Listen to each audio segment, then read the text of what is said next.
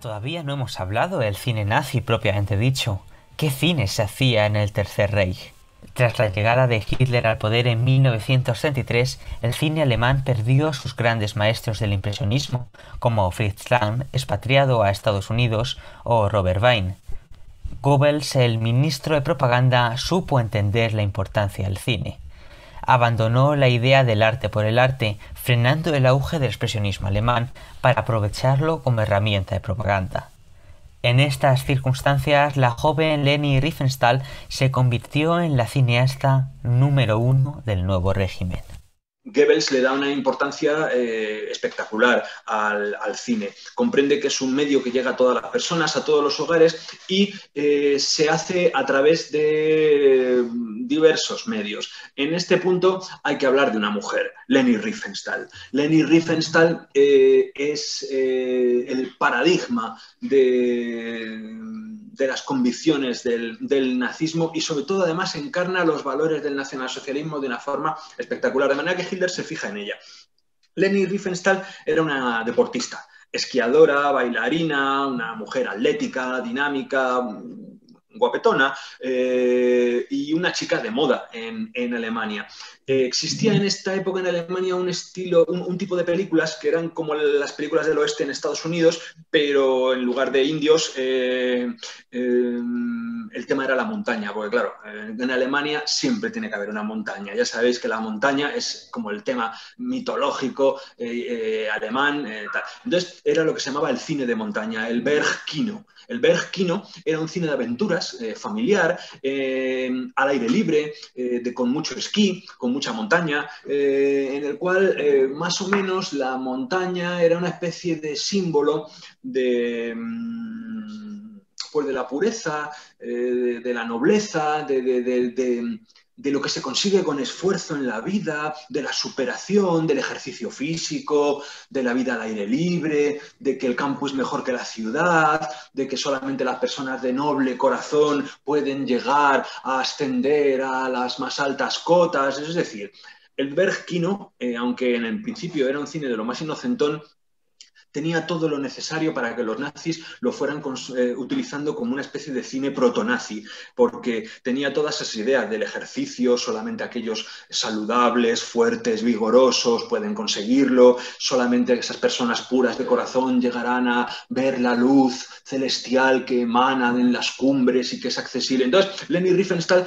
eh, en ese momento, pues como era esquiadora y era cineasta, protagonizó un montón de películas eh, sobre la vida en la nieve y llegó convertirse en una especie de heroína nacional. Y a través de esas películas, cada vez de una forma más descarada, se, representaba la figura del nacionalsocialista como eh, un hombre elegido, puro, racialmente alemán, que esquiaba, trepaba, un superhombre y, y que eh, vencía eh, a la naturaleza, mientras que la naturaleza, por medio de los aludes, las tormentas, arrastraba a toda la porquería, a toda la plebe, a toda la gente de ciudad, a gente corrupta. Es decir, la montaña era como el elemento purificador del, buen alemán. Entonces, a través del Bergkino, Leni Riefenstahl eh, desarrolla un, cine que luego le sirve muy mucho a los eh, nazis eh, como una forma de adoctrinamiento social. A partir de ahí, cuando tú ya tienes configurada tu cabeza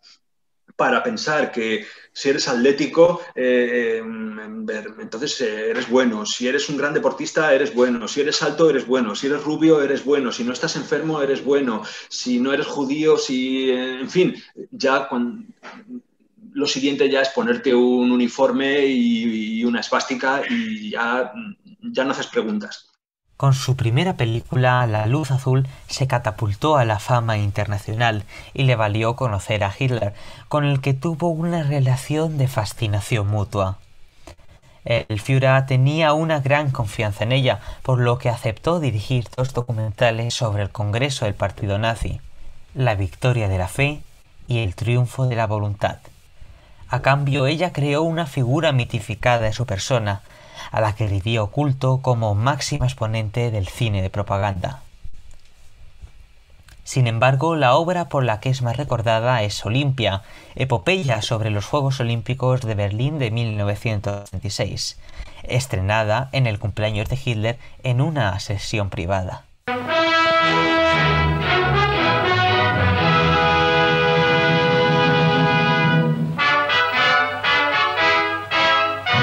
Олимпиада. Вторая часть фильма об Олимпийских играх в Берлине.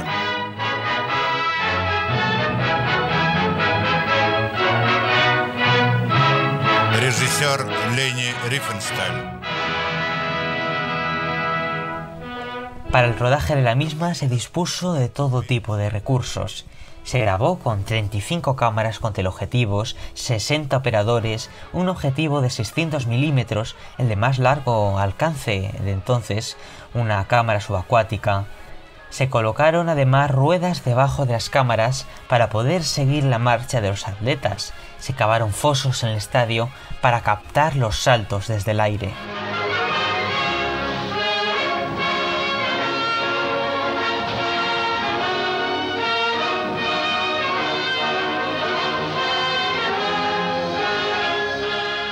La grabación constaba de más de 400.000 metros de película, que tras dos años de montaje y con un rigor y perfección que hasta ponía nervioso a Goebbels, se tradujo en dos partes de dos y cuatro horas respectivamente.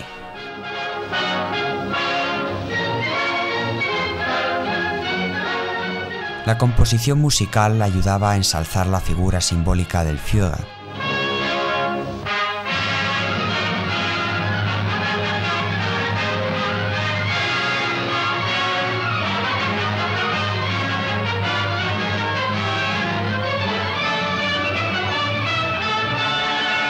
Fue pionera en la fotografía con la importancia que le otorgó a la imagen, no mostrar lo que se veía sin preocuparse demasiado por ello, sino centrarse en cómo mostrarlo, cómo manipular la recepción del espectador de lo que se muestra, los planos al cielo despejado, las nubes, con los atletas saltando, definiendo la silueta de su cuerpo negro contra la luz del sol.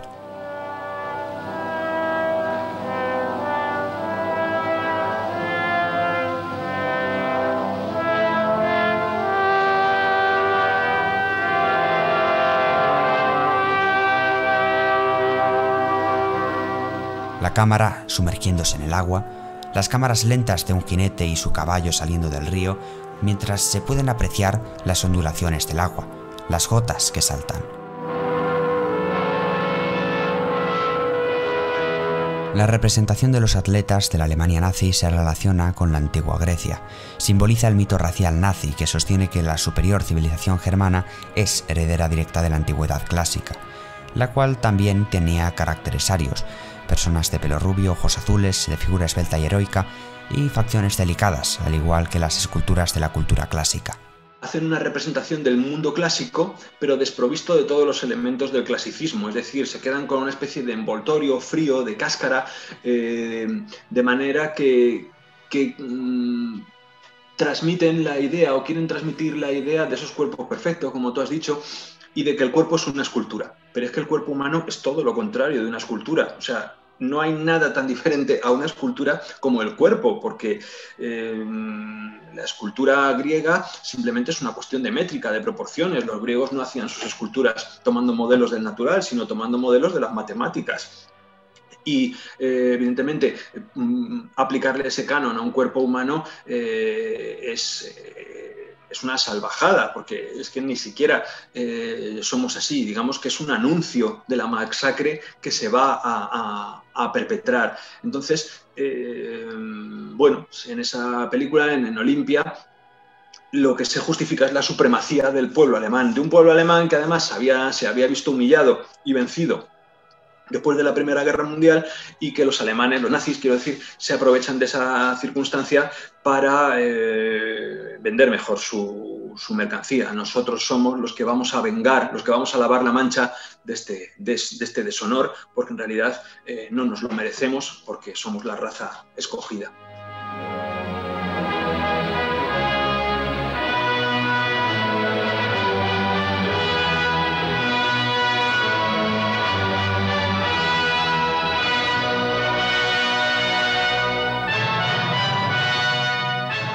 Al final de la guerra, Leni Riefenstahl fue detenida e interrogada por el ejército americano, acusada de pertenecer al partido nazi.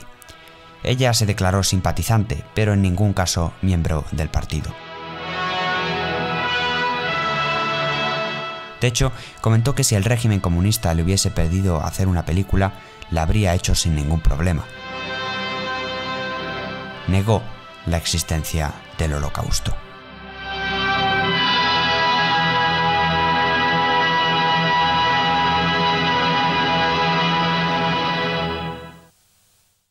Ahora hay que decirlo de que se suscriban y esas cosas. Vale, pues si te ha gustado el programa, dale a like y suscríbete para apoyar este tipo de contenidos. ¿Qué contenidos?